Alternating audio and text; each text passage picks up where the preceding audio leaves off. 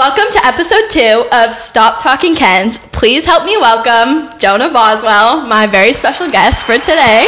Do you want to tell us a little bit about yourself? Sure. Um, I'm Jonah. Um, we went to high school together. We did. Um, and now I work at your high school. He does. Um, so that's exciting. Super. Superb. Um, I'm a dance major and business major at Chapman. Okay, I think we should start with my hoodie. I really just want to get it out of my, the way. So I want to show you guys all my hoodie, my special hoodie. I wore the day that Jonah came. It says 1 800 Boys Lie. And then the back says something even better, but we won't even go into it. Do you like it? I, I do. What's the back say? It says we're. No, I can't. I can't do what, What the, does back, the back say? No. Okay. Yeah, we can't. So let's go back to high school. We obviously danced at our high school. So what made you decide that dance was what you wanted to do in college also? Right. Um, honestly, at the beginning of my like senior year application process, I didn't want to dance at all. I was like, I'm gonna go for business, be basic, and and I like was like ready to cut off dance. Basically, it was like extracurricular up to a certain extent. And then I worked with a choreographer um, who kind of talked to our director, and she was like, Why isn't he going for dance? And I was like. It's a good question. Because I just didn't think, I really didn't think I had anything to go where with it. Like, you know, like the, the programs like Kaufman and Juilliard and NYU, like those are all like very like up there and they're talked about frequently. And I feel like people are always like shooting for those. And it's like not reasonable, especially if you're like, not like insanely talented, especially in ballet and whatnot, right? So I was like, I just thought, I don't think there's a place for me in a college program. Um, but I think after conversations with our director and with that choreographer, um, and just thinking about like what I wanted to do five years past college, like thinking like not just like what am I, what do I want to study in college, what do I want to do like past and after that. I think that's when I sort of like decided, okay, maybe I can find the intersection between my academic enjoyment and then my artistic endeavor, and and where does that sort of meet? And Endeavor. that's how I, I found Endeavor. dance. Endeavor. Yeah. Okay, was the application process for dance a lot harder than the business one? Yes, it was a lot more involved. Um, business was just basically you apply, answer some generic questions about like business. Um, you submit like your academic stuff for like the college itself. Dance is a lot more involved because there's like audition processes, um, interviews, solos, um, like rounds of, of things, not just like, you know, one application. It's like multiple levels and then there's a cut and then you come back. So it's This is stressing involved. me out. Going back to what you said about how you felt there wasn't a place for you in college in a dance program, don't you feel that everyone is going to find their place? And I know a lot of people feel this way because I know I do too. Like college is scary and there's so many people applying now like Chapman is really popular now too, and all the mm-hmm. UC schools, it's very highly competitive.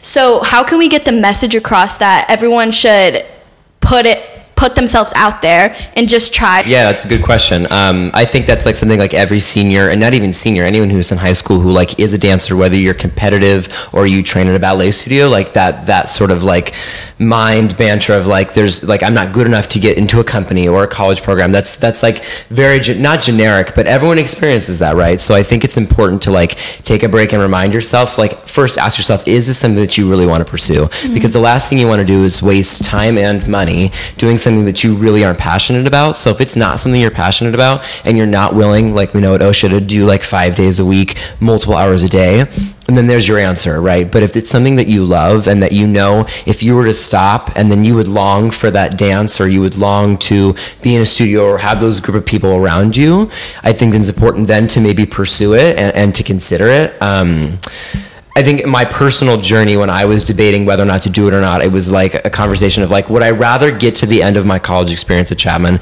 and be like, I wish I would have. And I think that's safe to say for like a lot of things in life, like to get to a result or the end of something and say, I wish I would have blank, tried this, done that, um, you know, eaten this. It could be something as small as that, right? Like it, it doesn't have to be these big, massive things. Just like the willingness to put yourself out there. One grows you as a person. I think you just you, you become more comfortable with trying new things and new experiences. The more you make yourself intentionally uncomfortable, and I think that's a little bit of it too. Like intentionally putting yourself out there and seeing what happens.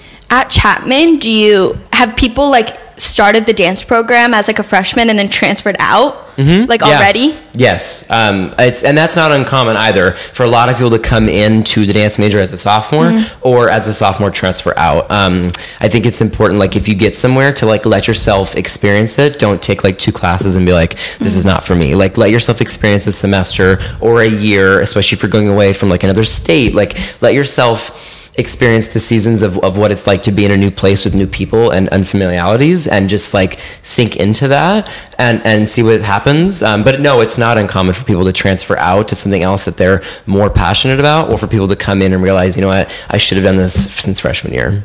do you feel like like we go to a performing arts school is that similar to the dance program in a college It is. I think we're, we're getting there. Um, what we're building is getting there. we're very like college prep now Like in all of our prep. classes yes, um, it's getting there. We are. We're really bringing in like teachers who have that Mm-hmm. collegiate experience, um, who set work at colleges, um, who bring like that that college experience to Yeah. high school, which is very unheard of i think for a lot of schools in in the united states. And then and then i think to like have that ability and have that such strong connection to people who are the ones looking at you for admissions it's it's pretty incredible i think what osha does for their students um, in terms of commercial dance. Osha as a whole putting their students in front of college reps like every year Yeah. consistently showing um, at universities what we do what we're about i think it definitely helps yeah. Yeah because we have college fair coming up where i have to do a solo right that's what i do you do, Yeah. yes. the director was oh yeah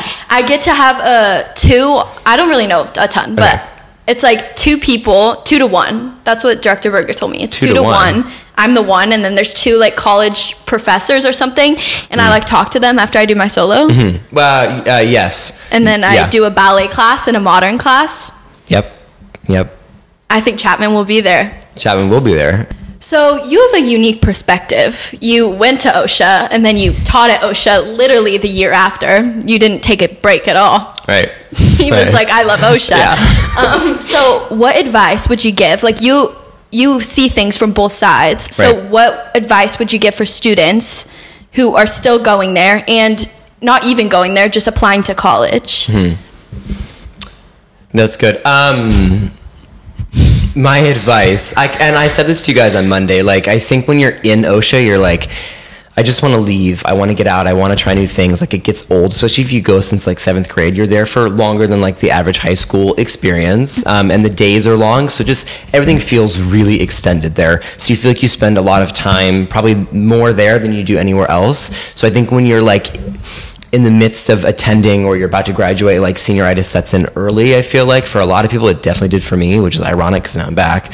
But I was like, I, I just wanted to like leave, and I think a lot of people have that shared experience at any high school. Like, I, I just want to like get out and go and sort of like spread my wings. But then, like, I think once you leave, you realize like that safety net mm-hmm. that you had in high school is gone, and you're like an adult now, and you kind of have to like lead your own way. You make your own schedule. You, if you go to another school that's like not 20 minutes from your house, like you're on your own to eat by yourself, do your Yeah. laundry like you know what i mean? You're, Yeah. you're very much independent. So i would say like while you're in high school and you're experiencing that like i want to leave i want to get out like enjoy it. Because in the retrospect it's like so short. I mean it's only four years. Yeah. and college is also only four years. And then like what after that you're like expected to like get a job and start Yeah. you know what I mean? Like there's a lot of responsibility after that ends. So I feel like the idea of like I want to I want to be done I want to rush I want to just finish like yes I think that's a valid feeling but like I, I think it's important to emphasize like make the connections while you're in school to the people especially at OSHA. We have such a diverse group of students that like you could work with after high school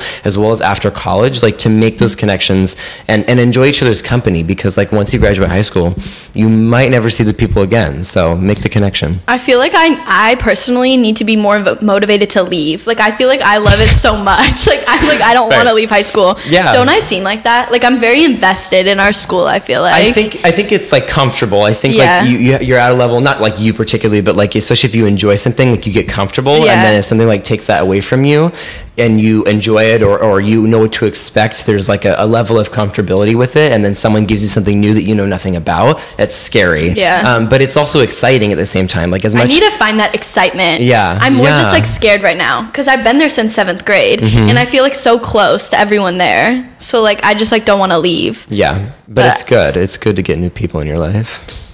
Do Do you think I'm gonna be famous with my podcast? Um? This is like taking away from my thinking. Um, now I have to think about this. Let's think. I It mean, should be an easy answer. yes, yeah, You do. Like you think I'm well suited for a podcast. I do. Really? Elaborate, please. Okay, uh, let's. I think you're well suited for a podcast because you love asking questions. Right. Um, I've asked you many. I think a good host like knows no boundaries to a certain extent. So like I think Do you think I have no boundaries? no, I think like sometimes you ask good questions and sometimes you ask questions that I'm like, hmm. Going along with my no boundaries, Uh, can you name? He's known me since what, like tenth grade, 9th grade, yeah, a long time. long time. So, can you say some pros and cons about me? But like, I told the twins they have to be nice with this. Like, Okay. don't be rude. Right. Pros and cons of Mackenzie Couch. Let's see. Hmm. Okay, an obvious pro is like you're you're very friendly with everybody. So like you're easy to talk to. Oh. You know, some people like you, you say things and they're like, mm-hmm. and then you're like, okay, you kind of walk away. Right. But like I think you're like very engaging in conversations, which makes you a great podcast host because you're engaging. Um, you're funny. Thanks. Yeah. It's one of my qualities I like Yeah, lean yeah, into. Yeah. yeah, yeah. Um, I'm not gonna say cons. I'm just gonna say like areas of growth. Um, sticking to our individual development plans, um, areas of growth, um, actionable items that you could take. I think I think areas of growth. It's gonna be mean. No, it's not. It's not Okay, gonna be mean. just say it. It's not gonna be mean. You know, how you say your middle name is like drama or dramatic. Like you know, like my middle name is dramatic. Yeah. I am Sometimes you're- dramatic. sometimes you're just dramatic about things. no, I'm not. I'm not dramatic. Wait, can I ask the host a question? Yeah, sure. Okay. Um, No. I take it. I'm not dramatic. I think the people sitting behind the camera would agree that I'm dramatic, but it's like I'm not dramatic. It's just like I take things very personally. And it's like I read into things deeply, you know? no, that yeah, it's a good quality though. Like you're investigative. Yeah, I'm investigative, not dramatic. I think yeah. My senior quote was going to be drama as my middle name, I but it's not that anymore. okay, yeah, good. You want to know my senior I do wanna- quote? what's your senior quote? Okay. At oh, it's good. Remember remember one of the pros you said about me that I'm funny? Mm-hmm. Okay. This is my senior quote. Okay. No one better steal it by the oh, should I say it? No Yeah. One's, no one's gonna steal it. Someone's gonna steal it. It's really good. I actually I can't say it. Okay, we're gonna do a part two with Jonah when I know what college I'm going to, and then I'll say my senior quote. Okay. What is the biggest challenge you have faced in high school or college? I'll give you the option. You can pick which one you want to answer. Okay. Um, I'll give you two. College and high school. The biggest one I've experienced in college has been time management, which Hmm. is ironic because OSHA like they really they do a good job at like teaching you time management, but like college just gets like even more, um, especially balancing like the, again the two majors and work at the same time, and then like also trying to have like a social life. Like it's it's a lot. Um, so the biggest challenge was like stretching myself too thin, um, and like not having enough time for me and to decompress and especially since we're like living in an age of like everything is like just so on the up and up and like it's accessible if you want to know an answer you can have it in, in like instant gratification Google? google um google so like everything How I get my answers ver- for my tests at school. that's scary don't say that I'm kidding. um don't say I can, I can i'll fail you out of all your burger Oh, classes he's my Yeah. teacher. I'm jealous. She cheats on everything. She's told me. Um, no, no. We live in a, in, a, in a generation, I would say, that like everything just feels very angsty and like everyone's like always on high with like everything. So I think college is already like a very exciting new anticipatory experience and then adding like onto that like i was studying two things and i was working at osha like upwards of 30 hours a week like i like had no time to like do things I wanted to do like what? it was like what did you want to do like that you couldn't like, do? like go on a walk because like homework and then like sleep and then like if I wasn't sleeping I was answering emails so like it's all good things it's all very like you know like Mm-hmm. career focused but I think it's important to like yes like have the grit and like the determination and like the extreme focus to like go for what you want but I think there needs to be like more of of a a personified not a personified like a I don't even know what that word means. So right. Um, there needs to be just more like um, agreement that like there it's okay to take a break. Like it's okay to not always have to be doing something better than the person next to you. Like you don't always have to be like, oh, you got into Harvard. Well, I'm going to Stanford, and I got into Harvard. Like you know, it's Yeah. everything's always like, how much more can I do? And Yeah. that and that comes to a certain point where you're just like exhausted. And college is very much like that. So that was my biggest challenge. Like What have you found helps finding that balance? Because a lot of people already go to school, they go to dance, like that's what I do, and I know I struggle, and then you have it like two times as hard. yeah. So like, what have you done to find that balance and be able to make time for yourself? knowing when to say no is, Yeah, is yeah. really important um, because like in college like everyone's going to ask you like do a club or help me with this or choreograph for that or perform in this and it's exciting it's really exciting but like when you have like six other classes you're doing that are like three hours of reading that night from like your 80 page tech 80 page like 80 pages of the textbook one night like it's a lot and you have to know what to prioritize so time management Are you in a sorority at college? I actually don't even know this so answer. I, I'm a, fr- a fraternity would be the right word Fraternity? a What's for girls There's a difference. Yeah, like a frat and a. Oh, you're in a fraternity? Are I'm you? not in a fraternity. No, yeah, I don't feel like you would be that's offensive. Why not? because you wouldn't be in it one. A sorority is for girls? Yeah. This is news to me. Uh, You should go to like if you go to Chapman. You should Would like, you I see join me in a frat. sorority? Uh, actually, yeah, Really? yeah. no, uh, yeah, it's good. I, it- Greek life is is fun. Greek? It's, it's called Greek life. Like at schools, they call it Greek life because everything's Really? like Greek letters. Yeah, Okay. So at, when you graduate Chapman, two more years, three more years, three more years, right? three, three layers. Um, you're gonna end with two majors, right? Dance and business. So what route right now do you feel like you want to take?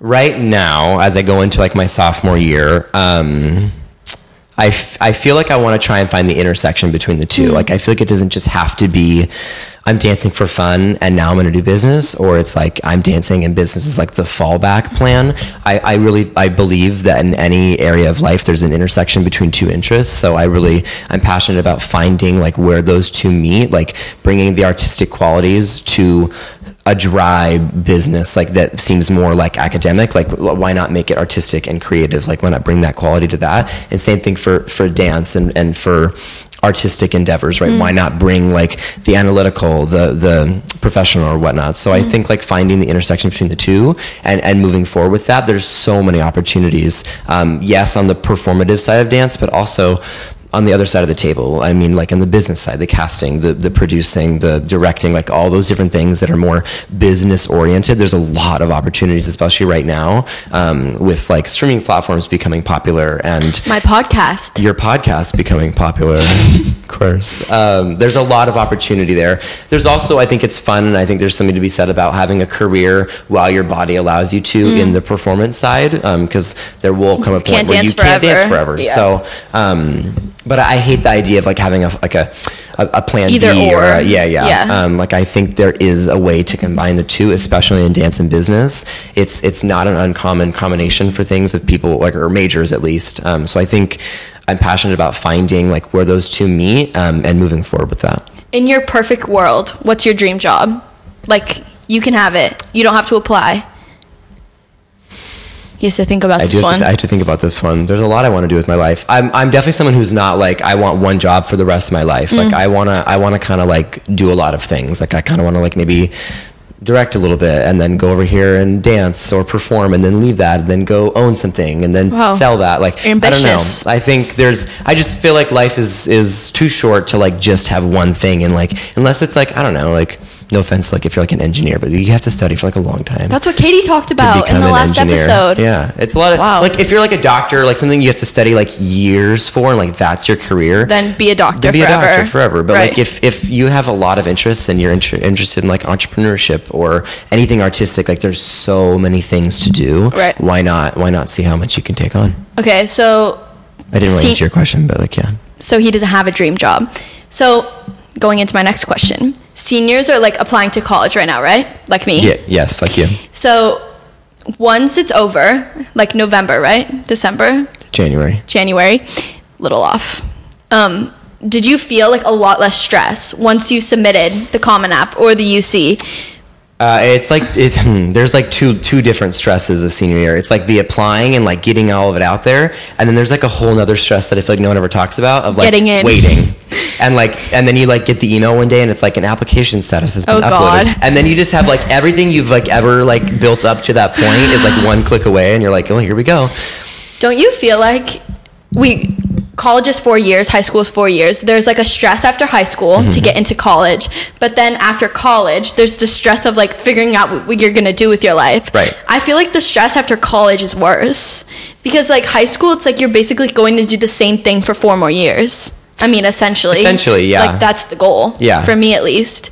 So like, isn't the stress more? Not to like make you all stressed, but like, jeez, um, I have three more years to figure it out. Um, that's what everyone says. Like they get to senior and they're like, I have another year to figure it out, And they don't know. No, no. Um, you scary if you don't know what you want to do by then. But I think it's too. I think it's a different kind of stress, and I think both are like very valid stresses. I think like figuring out where you're going to go because that has an effect on what you're going to do after Right. college as well. So like if you're out of school that like you really aren't there for a right reason, or you're there because it's just the name of the school, but you really have no business in their program, or you're just there for the cloud of it, whatever it might be. Like that's why it's so important to choose a program that's right for you. not just can, based off the name. Right, like you- the last thing you want to do is waste time in a program that is not um, suited for what you want Right. to do after. I think it's it's also important to like look at alumni from programs. Like, what are they doing? How are they giving back to the university? Um, How did you know that like Chapman was where you wanted to go?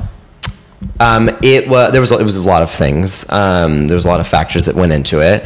Um, it was close to home, so um, definitely more affordable. Chapman's a private school, so already it's the tuition's very expensive, and I knew I could commute. That would save a lot of money every year because room and board is like two thirds of like the college expense. It's crazy how much it is to like room and board somewhere. Um, so I knew going into that, like I kind of wanted to see if I could save a little bit of money because I'm, I'm I'm paying for school on my own. So I was like, how where can I save? Like where could I really help myself a little bit? So I figured where can I pick a school that still has what I want. Don't pick a school that has a bad name. Like go somewhere that has a good reputation. Um, but like so Chapman had that. They were they were not far from my house and and they had what I wanted to do. And they had alumni. They have alumni that are working, that are, are in the industry, that are giving back to the program, that come back to the program and talk about what the program helped them do after graduation. So I think it's important to see like what are people doing once they get out of there, or do they leave and they're like, yeah, the the education was great. My time at XYZ or wherever you went was was amazing. I learned a lot, but now like I'm not connected anywhere. I don't have any roots in a city mm. that like is is That's why California is good because there's like so many things to do in mm-hmm. California, like mm-hmm. outside of the college. yeah. Yes. It, yeah, it's important like location wise. Yeah. Like on the weekends, are you auditioning for things or are you like at the mall because there are no auditions? I would like, like, them all, like 100. percent it's important to have that those options. So like yeah, LA, New York, like the things that the cities that you think of, especially in the entertainment industry, like the cities you would imagine, like Miami, um, New York, LA, even Orange County, because it's not far from LA, anywhere in really California. Um, it's important to like settle yourself somewhere that you can build roots, so that when you do graduate, you have a connection to an internship or a job or casting or auditions. You know what I mean? Like you're actively doing things to prepare for graduation because like once you graduate i mean you really are it's like unless you're going to go to grad school it's Yeah. kind of up to you to figure out what you want to do Yeah. which is why it's important to like be rooted somewhere Do you want to stay in California forever? i do oh, i me do too. i don't want to i don't like I, I i enjoy visiting other places but You like California is where you want to be. yeah yeah That's good. So I think this concludes part one. Don't be sad Don't if you're worry. sad that it's over because we will be doing a part two. there's a lot to unpack Yeah, there's a lot Jonah and I can talk about, not even related to dance. Anyways, I just want to thank you so much for coming on. of course Thank did you you have a good time? me. i did i did And he gave us a lot of insight. So if you have more questions you want Jonah to answer, comment them down below or DM me. Don't DM Or him. me. No, don't DM him. yeah me Thank you so much for coming on. You have to sign my board i know where i'm going to and take a star- starburst if you want good. to. And I'm gonna bring him merch. Merch is coming, and you guys can buy it. But I'm gonna bring him merch to school because it's not here yet, oh, and Oh, okay. I'll post a picture of him in it. Yeah. So all of you guys can see. Good. But thank you. Yeah. And I will see you guys in episode three.